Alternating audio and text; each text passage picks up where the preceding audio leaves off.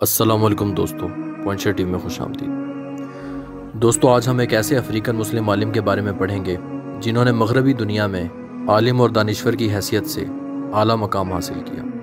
और मगरबी इस्तेमार ने इन्हें बेशुमार इज़्ज़त से भी नवाजा था। अयूबा सुलेमान डयालो मगरबी अफ्रीका के एक तालीम याफ्ता और मजहबी शख्स थे।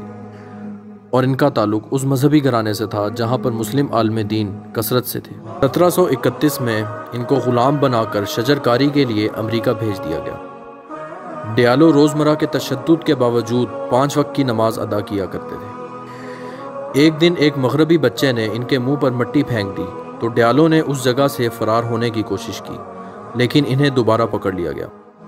जेम्स एडवर्ड, जो उस वक्त जॉर्जा कॉलोनी के फाउंडर थे, जब उन्होंने डयालो की लिखी हुई तहरीरें पढ़ीं तो बहुत मुतासर हुए।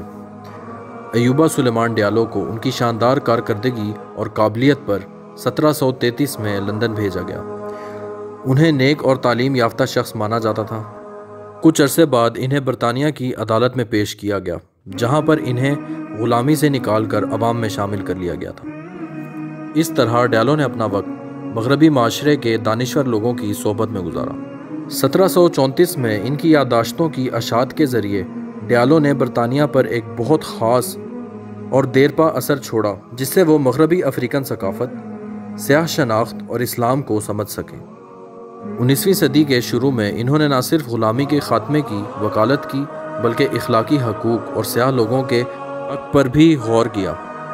अगर आप आज भी लंदन की नेशनल पोर्ट्रेट गैलरी जाएँ तो आपको विलियम होर की ये पेंटिंग मिलेगी, जो कदीमी ब्रिटिश ऑयल से एक अफ्रीकन की इज़्ज़त में बनाई गई थी। ये तस्वीर उस वक्त बनाई गई, जब बरतानिया के लोगों में इस्लाम की दिलचस्पी पैदा हो रही थी। इस तस्वीर ने 18वीं सदी के लोगों और मजाहिब के लिए एक दिलचस्प बसीरत का किरदार अदा किया था। इस तस्वीर को इतनी अहमियत हासिल है कि इसे म्यूज़ियम के अलग पोर्शन पर, अलग दीवार पर लगाया गया है।